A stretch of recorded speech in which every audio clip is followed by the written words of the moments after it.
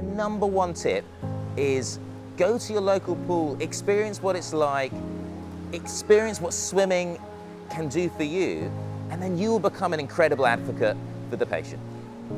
When I first met Darren, he was struggling to keep at even a gentle pace. He was getting quite breathless.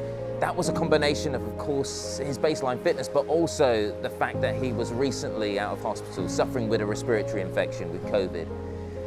At the end of February 21, I ended up in intensive care for 45 days, put me in an induced coma for um, 15 days, and then following discharge I had two readmissions from various infections.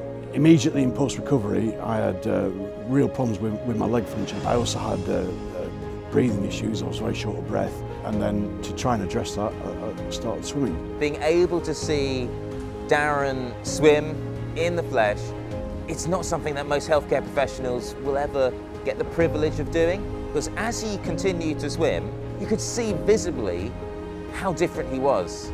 He was fitter, he looked younger, he looked stronger, and also more confident as well. You know, swimming is, is, is good all-round exercise. So if a doctor's telling you to do something, that's got huge value. And, and I'm sure most medical professionals would say fitness is something people need to do, but you need to be reminded to do it, and you need to be keep, keep being reminded to do it.